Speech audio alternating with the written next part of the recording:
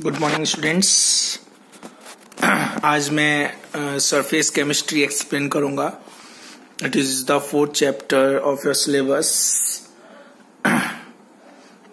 surface chemistry actually the branch of chemistry which deals with the nature of surface and the species present on it is called surface chemistry generally हम यहाँ पर surface किसी भी substance के surface पर होने वाले changes या उसके सरफेस की फिनोमिनन या उसके सरफेस पर प्रेजेंट स्पीसीज की स्टडी करेंगे।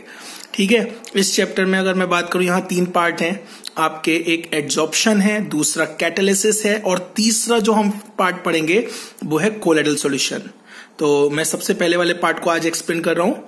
एड्जॉप्शन adsorption what is adsorption adsorption actually it is a surface phenomenon uh, the adhesion of atoms ions or molecules from a gas liquid or dissolved solid to a surface is known as adsorption simply हम ये कह सकते हैं जब किसी भी surface पर कोई भी लिक्विड या कोई भी डिजोल्व सॉलिड जब एड्जॉर्ब हो जाता है जब उसकी सरफेस पर कलेक्ट हो जाता है तब इस फिनोमिनन को एड्जॉर्प्शन कहते हैं Uh, adsorption uh, in the adsorption the concentration of the molecules on the surface of solid is higher than the bulk. इस चीज़ को आप याद रखिए अगर एड्जॉर्प्शन हो रहा है तो सरफेस पर नंबर ऑफ़ मॉलिक्यूल्स बढ़ जाते हैं जिससे सरफेस पर कंसंट्रेशन बल्क से ज़्यादा हो जाती है। जैसे मैं अगर आपको इस एक छोटे से डायग्राम को दिखाऊँ आपको दिख रहा होगा यहाँ पर एड्जॉर्प्शन में।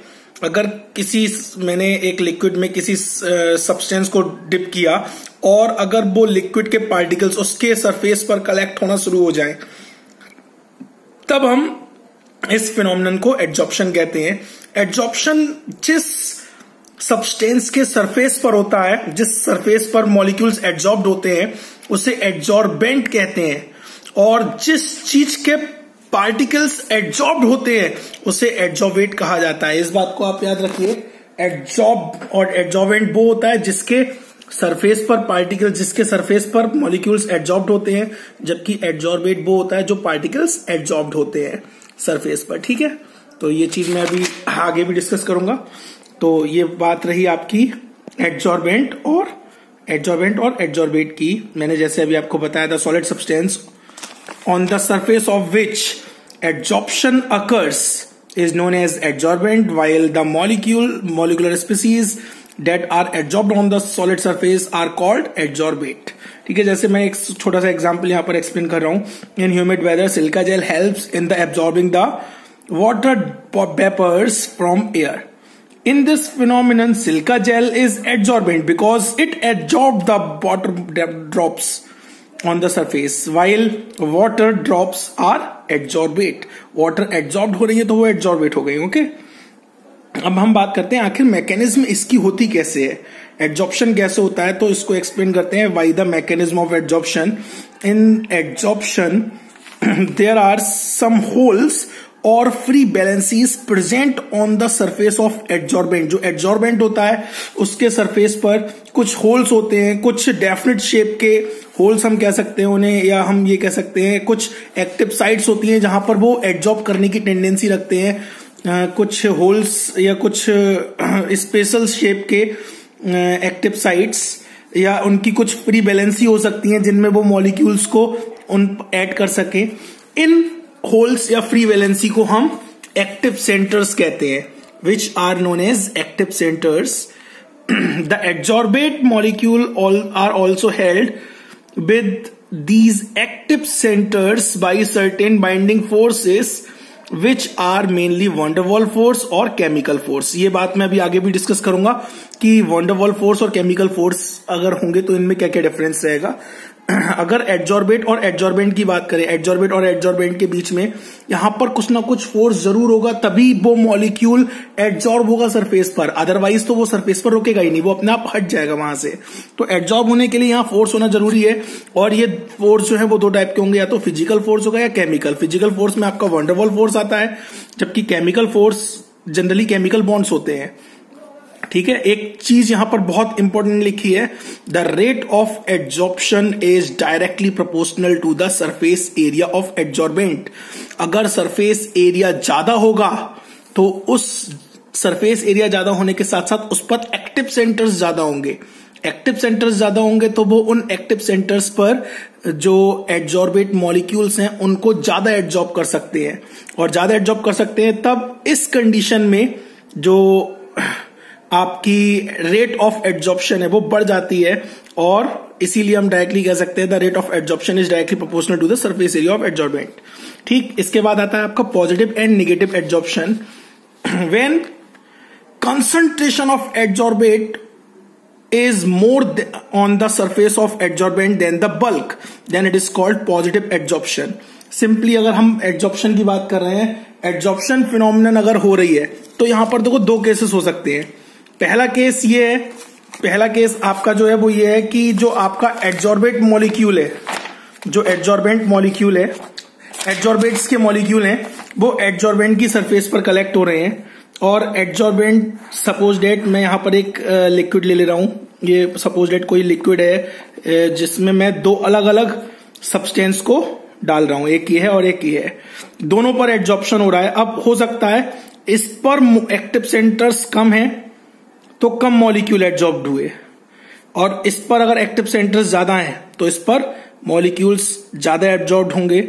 और जब ज़्यादा होंगे तो यहाँ सरफेस पर जो कंसंट्रेशन होगी, वो बल्क की कंसंट्रेशन से ज़्यादा हो जाएगी। और ज़्यादा हो जाएगी तब हम इस तरह के एड्जॉप्शन को पॉजिटिव एड्जॉप्शन कहते हैं। इसको हम कहेंगे पॉजिटिव एड्जॉप्शन अगर कम है कंसंट्रेशन सरफेस पर बल्क से।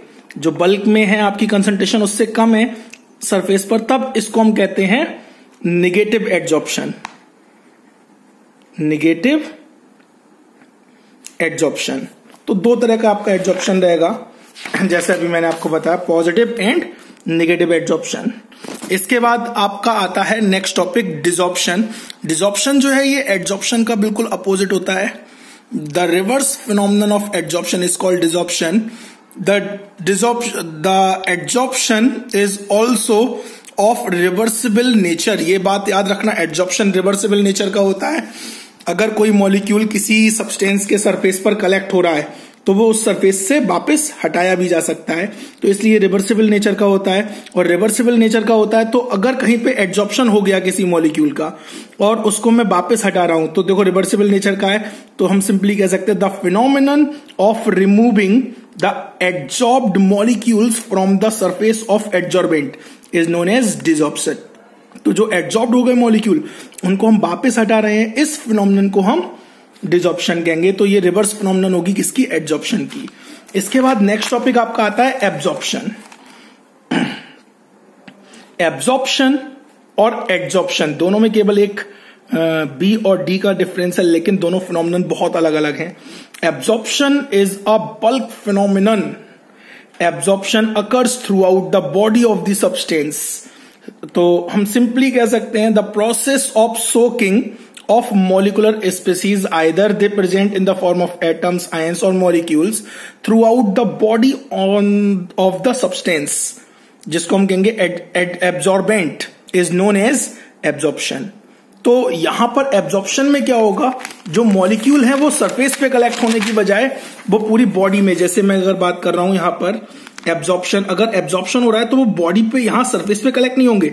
पार्टिकल्स इनसाइड चले जाएँगे और ये बल्क फिनोमिनन होगी, पूरी बॉडी में यूनिफॉर्मली डिस्ट्रीब्यूट हो जाएँगे। यूनिफॉर्मली डिस्ट्रीब्यूट होने का मतलब ये हर जगह कंसंट्रेशन सेम रहेगी। ऐसा नहीं कि केवल यहाँ पर एब्जॉर्ब हुए, यहाँ पर नहीं हुए। पूरी थ्रू आउट द बॉडी इनकी कंसंट्रेशन जो है वो यूनिफॉर्म रहती है। इस फिनोमिनन को हम एब्जॉर्प्शन कहते हैं। कंप्लीट एब्जॉर्प्शन तभी होगा जब पूरी बॉडी में मॉलिक्यूल एब्जॉर्ब हो जाएँगे, ठीक है? जैसे एक एग्ज़ाम्पल में यहाँ पर लिखा हुआ है when ammonia gas is pass through water the molecules of ammonia get uniformly distributed in the water so we can say that ammonia molecules get absorb in water इसके बाद नेक्स्ट फिनोमिनन आती है आपकी जॉप्शन जॉप्शन आपकी इन दोनों फिनोमिनन को मिलाकर बनती है एड्जॉप्शन प्लस एब्जॉर्प्शन यानी जिसमें एड्जॉप्शन भी हो और एब्जॉर्प्शन भी हो, जैसे आपको यहाँ पे दिख भी रहा होगा। कि यहाँ पर क्या हो रहा है? जो पार्टिकल्स हैं, वो सरफेस पर तो एड्जॉर्ब हो ही रहे हैं। साथ ही साथ अंदर भी पूरी बॉडी में डिस्ट्रीब्यूट हो रहे हैं। तो इस तरह की जो फिनोमिनन होती है, उसको हम जॉप्शन कहते हैं, जिसमें एब्जॉर्प्शन और एड्जॉप्शन दोनों होते हैं। तो सिंपली यहाँ पर लिखा है the in some cases both adsorption and absorption occurs together then such phenomenon are known as sorption ठीक है? जैसे मैं एक एग्ज़ाम्पल लू, अगर मैं एक कलर, एक कलर्ड मैंने एक बाल्टी में भर लिया और उसमें एक प्लास्टिक की बॉल को व्हाइट कलर की प्लास्टिक की बॉल ली, मैंने उसको अंदर डिप किया। तो व्हाइट कलर जो है वो केवल उसके सरफेस पर डिस्ट्रीब्यूट होगा। तब हम कहेंगे कि वो कलर कहाँ कहाँ हो रहा है? वो एब्जॉर्ब हो रहा है उसके सरफेस पर। ठीक है अगर मैं इसकी जगह एक स्माइल बॉल लेता हूँ जो फॉर्म वाली आती है स्माइल वाली येलो कलर की और उस बॉल को अगर मैं वाटर में डिप करूँ तो वाटर क्या होगा? उसके अंदर चला जाएगा एब्सॉर्ब हो जाएगा सारा का सारा। अब अगर मैं तीसरे केस की बात करूँ मैंने वाटर लिया आ, या मैंने वाटर की जगह ऑयल ले लिया ऑयल में मैंने उसी स्मेली वॉल को डाला तो ऑयल क्या करेगा? वो ऑयल को अंदर एब्जॉर्ब भी करेगी और साथ ही साथ वो ऑयल उसके सरफेस पर भी रह जाएगा। तो ये फिनोमिनन ऑप्शन हो जाएगी। ठीक है? जॉप्शन और एब्जॉर्प्शन में डिफरेंस करना बहुत डिफ़िकल्ट होता है क्योंकि दोनों फिनोमिनन बहुत बहुत बहुत छोटे से डिफरेंस पर रहती हैं।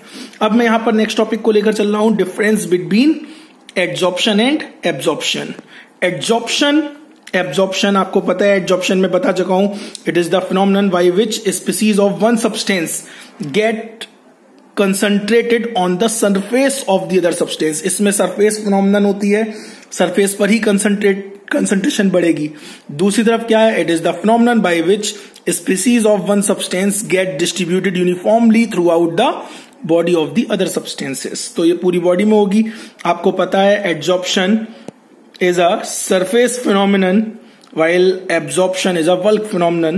The concentration is different on the surface of adsorbent then the bulk मैंने जैसे अभी बताया था, यहाँ पर अगर डिस्ट्रीब्यूशन हो रहा है सरफेस पर अगर कलेक्ट हो रहे हैं मॉलिक्यूल तो यहाँ पर कंसंट्रेशन जो है डिफरेंट हो जाती है बल्क से जबकि अगर एब्जॉर्प्शन हो रहा है तो कंसंट्रेशन सेम रहती है पूरे मटेरियल में। ठीक है? अलग तीसरी चीज़ पर आते हैं हम। नेक्स्ट पॉइंट पर।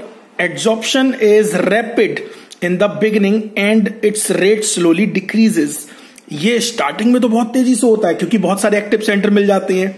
इसलिए एक साथ पहले स्टार्टिंग में बहुत सारे मॉलिक्यूल एडजॉर्ब हो जाते हैं लेकिन फिर बाद में धीरे धीरे करके जब एक्टिव सेंटर्स भर, भरने बंद हो जाएँगे तब इसकी रेट धीरे धीरे डिक्रीज हो जाती है। कम हो जाती है, लेकिन absorption proceeds at uniform rate क्योंकि एब्जॉर्प्शन में क्या हो रहा है? सारे मॉलिक्यूल्स अंदर जाते जाएँगे और होल्स कोई भरेगा ही नहीं। वो उन होल्स के अंदर मॉलिक्यूल्स कंटिन्यूसली जाते रहेंगे जाते रहेंगे। तो ये एक यूनिफॉर्म रेट से चलती है।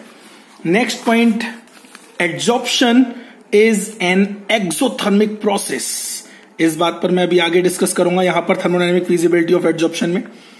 और absorption is an endothermic process absorption जो है, ये एक एंडोथर्मिक प्रोसेस होती है।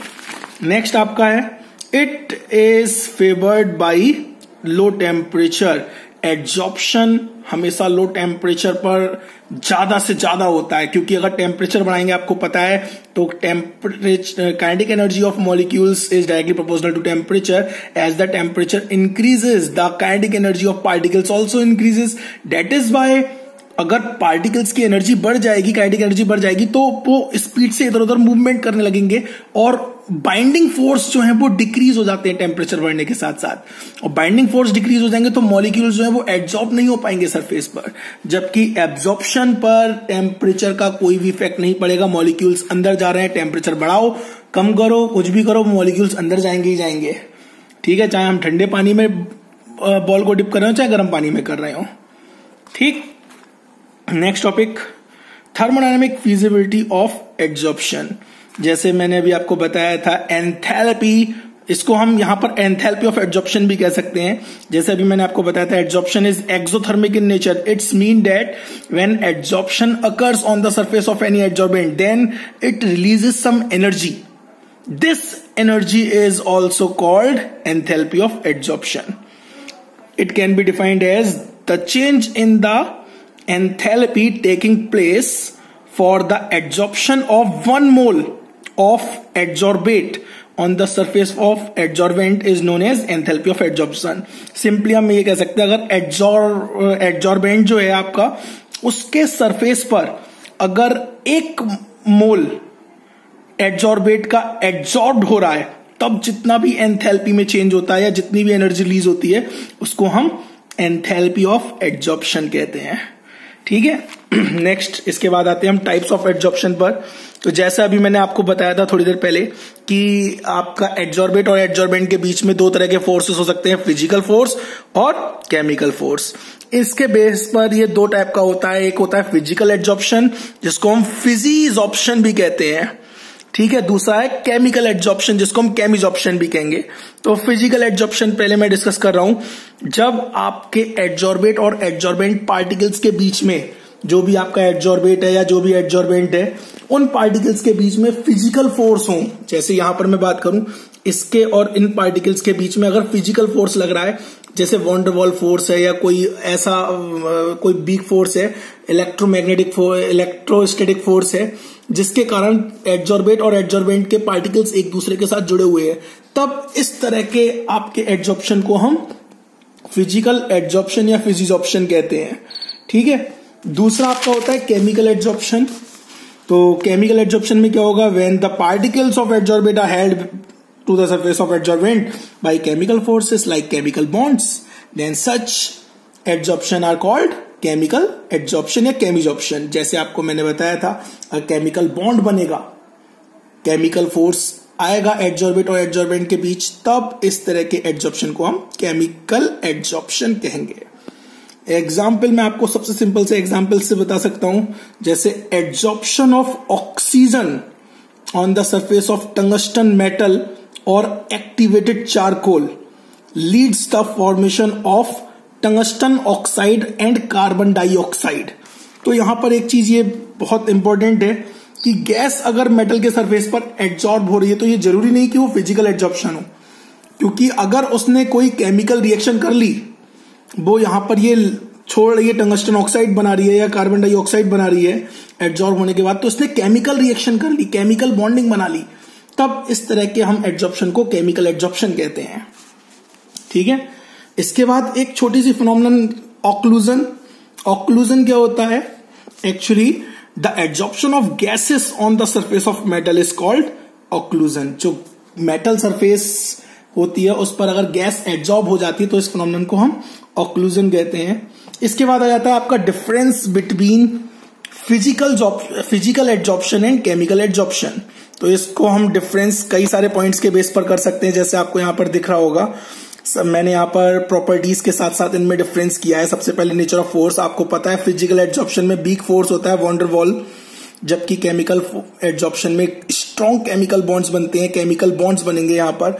अगर फ़िज़िकल एड्जॉप्शन में बीक फोर्सेस हैं तो इनके लिए एंथैल्पी ऑफ़ एड्जॉप्शन भी कम होती है 20 से 40 kilo joule per mole approximate इनकी बॉन्ड एंथैल्पी होती है एंथैल्पी ऑफ़ एड्जॉप्शन होती है।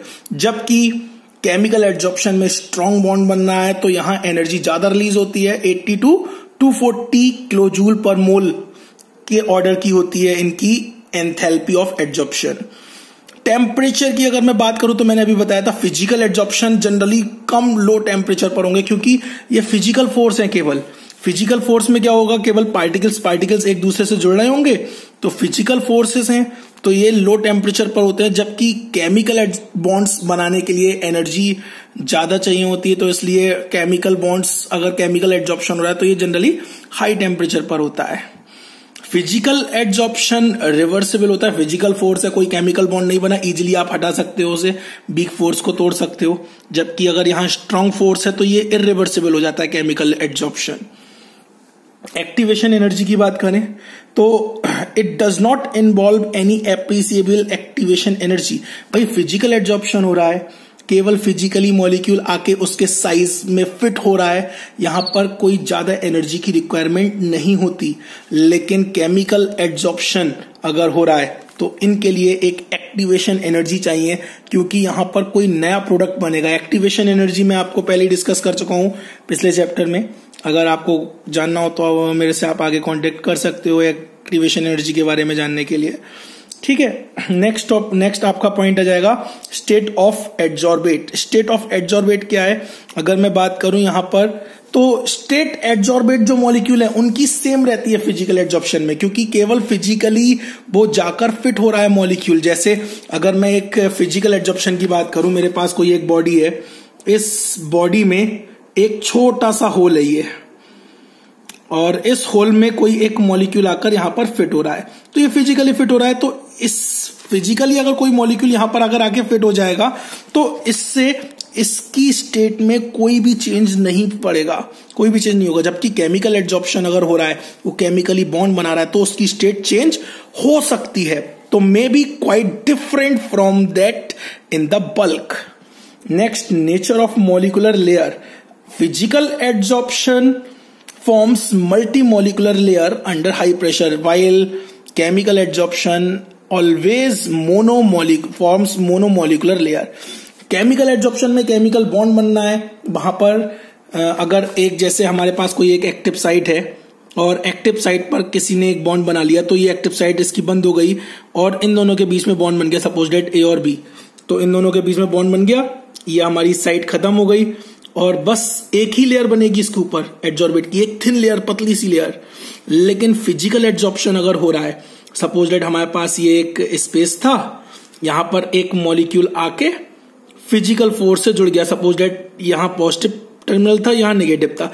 पॉजिटिव नेगेटिव के बीच में यहाँ पर एट्रैक्शन के कारण ये जुड़ा हुआ है इलेक्ट्रोस्टैटिक एट्रैक्शन अब अगर ये टर्मिनल इसका नेगेटिव है और इसके पास कोई दूसरा डाइपोलर मॉलिक्यूल आ जाए जिसका पॉजिटिव टर्मिनल इधर हो और नेगेटिव इधर हो तो ये पॉजिटिव नेगेटिव को यहाँ अट्रैक्ट करेगा, एक दूसरी लेयर इसके ऊपर बनेगी। ऐसे ये सारे, बहुत सारे मॉलिक्यूल एक लेयर बनाएँगे, फिर तीसरा इसके ऊपर फिर से ये मॉलिक्यूल को एड्जॉर्ब कर सकता है। तो क्या होगा, यहाँ एक मल्टी मॉलिकुलर लेयर बन सकती है, जबकि केमिकल एड्जॉर्प्शन में मल्टी मॉलिकुलर लेयर नहीं बन सकती। अगर ए से बी एक बार केमिकल बॉन्ड से जुड़ गया तो बी से फिर से ए नहीं जुड़ेगा, या बी से फिर से बी नहीं जुड़ेगा। क्योंकि एडजॉर्बेट तो ए ही है। बी से फिर से बी दोबारा आगे नहीं जुड़ेगा। तो ये आपका मोनोमोलिकुलर लेयर बनाता है, जबकि फ़िज़िकल एड्जॉर्प्शन में मल्टी मोलिकुलर लेयर बनती है। नेक्स्ट टॉपिक पर आते हैं हम। एड्जॉर्प्शन आइसोथर्म एड्जॉर्प्शन आइसोथर्म क्या होता है? सबसे पहले तो आइसोथर्म का मतलब समझ लेते हैं हम। आइसोथर्म वर्ड जो है, वो दो वर्ड से मिलकर बना हुआ है। Iso plus therm iso means same therm means temperature यानी यहाँ पर हम रेट ऑफ़ एड्जॉर्प्शन की बात करेंगे। सेम टेम्परेचर पर कांस्टेंट टेम्परेचर पर। टेम्परेचर को हम कांस्टेंट करके, अगर हम बात कर रहे हैं यहाँ पर तो प्रेशर और टेम्परेचर मैं आपको बता दूँ प्रेशर और टेम्परेचर दो मेन फैक्टर्स होते हैं, जो एक्सटेंट ऑफ़ एड्जॉर्प्शन को इन्फ्लुएंस करते हैं। और अगर यहाँ पर मैं बात कर रहा हूँ आइसोथर्म कांस्टेंट टेम्परेचर टेम्परेचर को अगर मैं कांस्टेंट कर दूँगा तो सिंपली हम कह सकते हैं the curve plotted between the amount of gas adsorbed x upon m जिसको हम कहेंगे to the corresponding pressure at constant temperature हमने टेम्परेचर को कॉन्स्टेंट कर दिया तो प्रेशर के साथ जो भी हम इसका ग्राफ प्लॉट करेंगे कर प्लॉट करेंगे, उसको हम एड्जॉर्प्शन आइसोथर्म कहेंगे। Since adsorption is reversible process मैं आपको बता चुका हूँ एड्जॉर्प्शन रिवर्सिबल प्रोसेस है therefore adsorption also takes place desorption also takes place अगर एड्जॉर्प्शन होगा तो डिजॉप्शन भी होगा। जितने मॉलिक्यूल्स अगर आके कलेक्ट हो रहे हैं तो वहाँ से हटना भी शुरू हो जाएँगे सरफेस से। और अगर मैं बात करूँ तो मैंने अभी आपको जैसे बताया था in the beginning adsorption takes place rapidly starting में बहुत तेज़ी से होता है तो एक्सटेंट ऑफ़ अमाउंट जो एक्सटेंट ऑफ़ एड्जॉर्प्शन होगा, वो स्टार्टिंग में तो बहुत तेज़ी से बढ़ेगा प्रेशर के साथ. लेकिन कुछ टाइम बाद क्या होगा?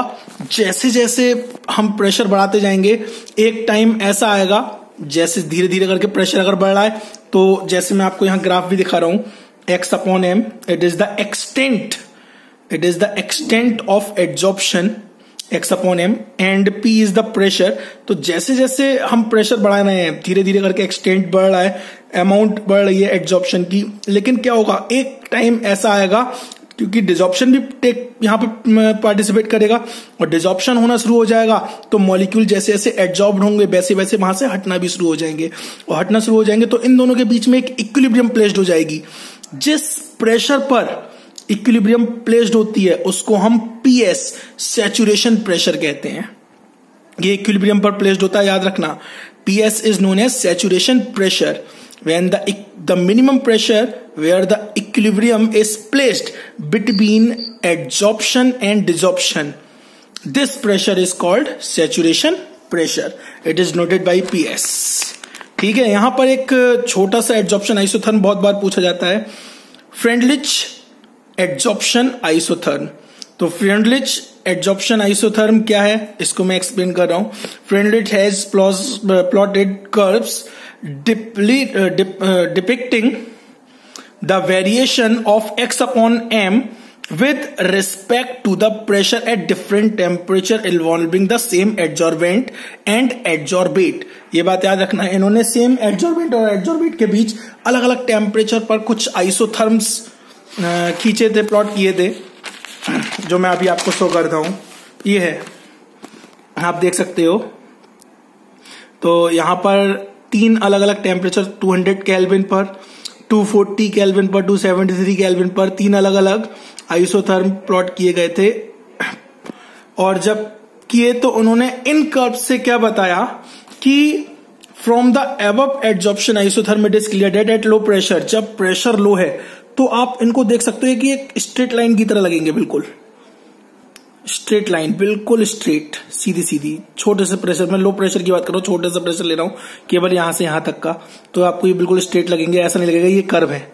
स्ट्रेट लगेंगे स्ट्रेट लगेंगे तो स्ट्रेट होने का मतलब ये है the graph is almost almost straight this means that x upon m is directly proportional to the pressure ये प्रेशर के डायरेक्टली प्रोपोर्शनल है तभी ये स्ट्रेट लाइन हो सकती थी।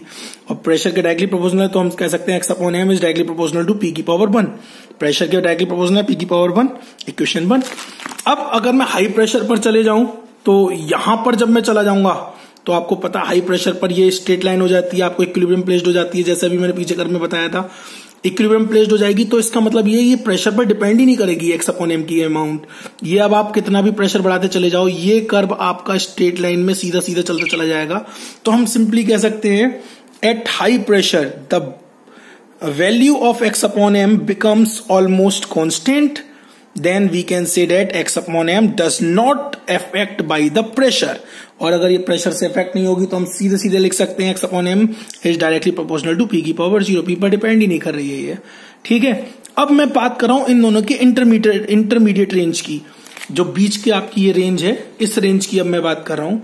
तो intermediate at intermediate range the pressure x the at intermediate range of pressure x upon m will depend upon the power of pressure which lies between 0 to 1 क्योंकि यहाँ पर p बन हो रहा है और यहाँ पर p ऑलमोस्ट ज़ीरो हो रहा है तो बीच की जो है वो ज़ीरो से बन के बीच की होगी p की वैल्यू ज़ीरो से बन के बीच की है।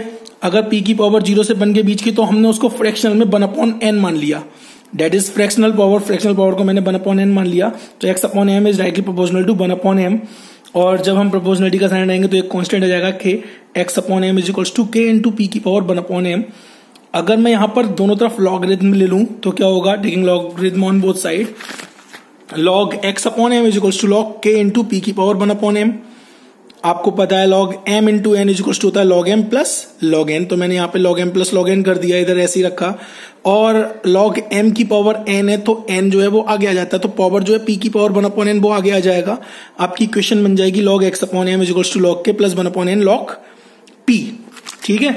यहाँ पर आप लॉग कोई सा भी ले सकते हो एल एन या फिर लॉग बेस टेन वाला भी ले सकते हो लॉग बेस ई वाला भी।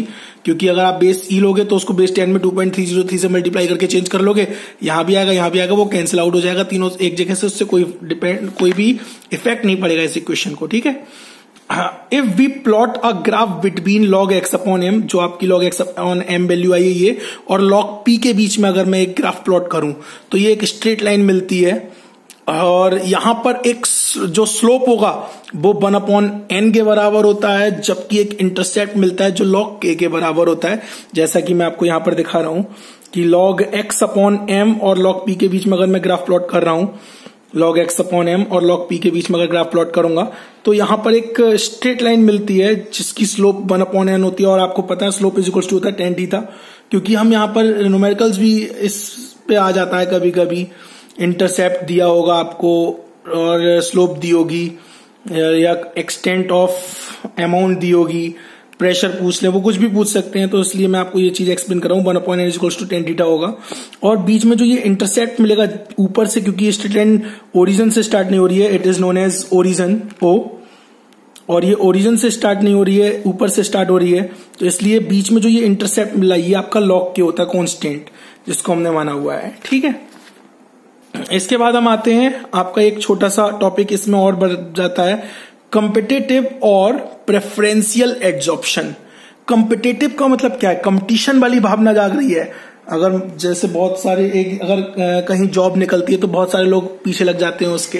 तो वैसे यहाँ पर है कंपिटेटिव और प्रेफरेंशियल एड्जॉर्प्शन अगर किसी किसी एड्जॉर्बेंट पर पहले ही कोई मानो मॉलिक्यूल पहले से एड्जॉर्ब हो चुका है अब पहले से ही कोई अगर वहाँ पर एड्जॉर्ब हो चुका है तो उससे अगर हटाकर कोई दूसरा मॉलिक्यूल आ जाए, तब इस तरह के एड्जॉर्प्शन को हम कंपिटेटिव और प्रेफरेंशियल एड्जॉर्प्शन कहते हैं। तो सिंपली मैं आपको यहाँ पर देखो एक्सप्लेन कर रहा हूँ। एड्जॉर्प्शन इज़ कंपिटेटिव और डिफरेंट एड्जॉर्बेट्स तो अलग अलग एड्जॉर्बेट जो है, उनकी अलग अलग पावर होती है अलग अलग स्ट्रेंथ होती है। एडजॉर्ब होने की उनकी टेंडेंसी अलग अलग होती है। Strong adsorbate gets adsorbed more efficiently as compare to the weak adsorbate तो स्ट्रॉन्ग एड्जॉर्बेट जो है वो जल्दी एड्जॉर्ब हो जाएगा। और जल्दी एड्जॉर्ब हो जाएगा तो हम सिंपली कह सकते हैं strong adsorbate displaces an already adsorbed one from the surface of the adsorbent then it is called competitive और प्रेफरेंशियल एड्जॉर्प्शन ठीक है? इसको मैं एक एग्ज़ाम्पल से ही बता सकता हूँ। जैसे अगर किसी मेटल की सरफेस पर कोई अगर गैस एडजॉर्ब हो गई है, पहले से मानो नाइट्रोजन गैस एड्जॉर्ब है, और उसको हटाकर वहाँ ऑक्सीजन गैस आ जाए तो इस तरह के आपके एड्जॉर्प्शन को हम कंपिटेटिव और प्रेफरेंशियल एडजॉर्प्शन कहेंगे। इसके बाद आते हैं हम एप्लीकेशन ऑफ़ एडजॉर्प्शन एप्लीकेशंस बहुत सारी हैं इसकी। मैं यहाँ पर थोड़ी सी एप्लीकेशंस डिस्कस कर रहा हूँ। जैसे आपके सामने पहले लिखी हुई है रिमूवल ऑफ़ कलरिंग मैटर तो कलरिंग मैटर को रिमूव करने के लिए भी एड्जॉर्प्शन फिनोमिनन का यूज़ किया जाता है। जैसे आपको पता हो, बहुत से सब्सटेंसेस हैं sugar juice vegetable oils etcetera तो इनका जो कलर होता है, वो इम्प्यूरिटीज के कारण होता है और इन इम्प्यूरिटीज को हम एक्टिवेटेड चारकोल को यूज़ करके उसकी सरफेस पर एडजॉप्ट कर लेते हैं, जिससे आपके ये सब्सटेंस डीकलराइज्ड हो जाते हैं। तो इसमें भी हम इसका यूज़ करते हैं। ठीक है? दूसरा आपका आता है इन गैस मास्क जो गैस एक्टिवेटेड चारकोल जो है, ये पॉइजनस गैस या टॉक्सिक गैस को एडजॉर्ब करने एडजॉर्ब करने की टेंडेंसी रखता है। इसलिए इसका यूज़ हम गैस मार्क्स में भी करते हैं, जहाँ गैस वगैरह जो सेपरेट की जाती है तो वहाँ पर हम इसका यूज़ करते हैं एक्टिवेटेड चारकोल का। कई सारे मास्क भी आते हैं, जिनमें एक्टिवेटेड चारकोल के फिल्टर्स लगते हैं। तो गैस मास्क में भी हम इसका यूज़ करते हैं। ठीक है माइंड एरिया जो होता है जहाँ बिल्डिंग वगैरह, जहाँ माइंड्स से उड़ाया जाता है मतलब जो पहाड़ी, पहाड़ वगैरह उड़ाए जाते हैं तो जहाँ या कोयला कोयले की खाने वगैरह होती हैं, यहाँ पर जो काम करते हैं लोग तो इन लोगों को मास्क पहनना होता है ताकि जो पार्टिकल्स है वो अंदर ना जाए तो वहाँ पर भी गैसेस हैं या छोटे छोटे पार्टिकल्स उन्हें एडजॉब करने के लिए हम एक्टिवेटेड चारकोल का यूज़ करते हैं मास्क में। ठीक नेक्स्ट है आपका इन सेपरेटिंग नोबल गैसेस ये बहुत बड़ी डिस्कवरी थी। नोबल गैसेस किसी से रिएक्शन नहीं करती जनरली लेकिन नोबल गैसेस को भी हम अगर हम बात करें तो एक्टिवेटेड कोकोनट चारकोल जो है कोकोनट चारकोल जो है, वो अपनी सरफेस पर नोबल गैसेस को एडजॉप्ट करने की कैपेसिटी रखता है। बस यहाँ एक बात याद रखनी है रेडोन को छोड़कर। Radon is a radioactive element तो वो एडजॉब नहीं होता। नेक्स्ट है इन क्रोमेटोग्राफी क्रोमेटोग्राफी आपको पता है, आपने इलेवेंथ में पढ़ा है chromatography is a technique to separate two or more ions और सिंपली हम कह सकते हैं यहाँ पर आपको छोटे छोटे कलर्ड ग्राफ्स मिलते हैं। क्रोमेटोग्राफी इसी से इसका नाम जो बना है। ये फिनोमिनन भी एड्जॉप्शन पर होती है। यहाँ पर क्या होता है, आपने क्रोमेटो पेपर क्रोमेटोग्राफी ली ली या टीएलसी ली थिन लेयर क्रोमेटोग्राफी तो उसमें क्या होता है, जो आपने सब्सटेंस लिया, उसको आपने एक कैपलरी की हेल्प से रख दिया सरफेस पर और फिर हम उसको डेवलपर में डिप करते हैं और डेवलपर जो है वो ऊपर चढ़ता है। उस पेपर या थिन लेयर की हेल्प से और ऊपर चढ़ता है तो सब्सटेंस जो है, वो भी आपका धीरे धीरे उस डेवलपर के साथ ऊपर चढ़ता है। तो डेवलपर के साथ जब वो ऊपर चढ़ता है तो वहाँ पर क्या होता है तो इस इसमें क्या होता है, जो सरफेस पर जो आपने क्रोमेटोग्राफ जो आपने कैपलरी की हेल्प से सब्सटेंस रखा, वो ऊपर जाता है। इसमें मतलब एक छोटा सा, मैं आपको एक डायग्राम से छोटा सा बता सकता हूँ। एक हमने पेपर लिया यहाँ पर हमने एक सब्सटेंस को रखा। हमने इसको एक डेवलपर सॉल्यूशन बनाया। इस डेवलपर सॉल्यूशन में इस पेपर को रख दिया। अब ये डेवलपर जब ऊपर चढ़ेगा तो ये सब्सटेंस जो है वो अपने आप यहाँ पर ऊपर पहुँच जाएगा। ऊपर पहुँच जाएगा, इसका स्पॉट मिल जाता है, फिर हम यहाँ से निकालते हैं R F value retardation factor R F equal to distance travel by the solute upon distance travel by the developer तो वो आर एफ़ वैल्यू निकल जाती है इससे। ठीक है, वो तो फ़िलहाल एक प्रैक्टिकल की बात है, ये आपके सिलेबस में भी है प्रैक्टिकल ये बात थी क्रोमेटोग्राफी की नेक्स्ट एप्लीकेशन है इन froth flotation process. Froth flotation process is the process of concentration of sulfide ores. ये मैं आपको आगे के चैप्टर में डिस्कस करूँगा कि फ्लॉट फ्लोरेशन मेथड क्या होता है। इसमें हम एक वाटर टैंक लेते हैं, उसमें थोड़ा सा pine oil potassium ethyl xanthate मिलाते हैं, जिससे बहुत सारे फ्लोट्स बनते हैं, झाग बनते हैं। ठीक तो इसमें क्या होता है? जो सल्फाइड ओर है वो अपने सरफेस पर ऑयल पार्टिकल्स को एड्जॉर्ब कर लेता है और जब एड्जॉर्ब कर लेगा तो ऑयल के साथ सल्फाइड और पानी में ऊपर आ जाता है। जो आपका वाटर टैंक है, इस वाटर टैंक में सल्फाइड और जो है, वो ऊपर वाटर ऑयल जो है, आप ऑयल की डेंसिटी कम होती है तो वाटर से ऊपर आ जाता है पाइन ऑयल को एड्जॉर्ब कर लेंगे सल्फाइड और और एड्जॉर्ब कर लेंगे तो सल्फाइड और जो है ऑयल के साथ साथ ऊपर आ जाएँगे सरफेस पर। जबकि इम्प्योरिटीज जो होती डस्ट पार्टिकल वो नीचे रह जाती। है तो इस फिनोमिनन में भी हम एड्जॉर्प्शन की बात कर रहे हैं। एड्जॉर्ब्ड हो रहे हैं मॉलिक्यूल सल्फाइड और जो सल्फाइड और है, उसके सरफेस पर। तो एड्जॉर्प्शन वाला पार्ट जो है, वो आपका यहाँ पे खत्म हो जाता है कंप्लीट हो जाता है। इसके बाद फिर मैं आपका कल डिस्कस करूँगा आपका कैटेलिसिस ठीक है? पार्ट बी आज के लिए बस इतना ही। Thank you bye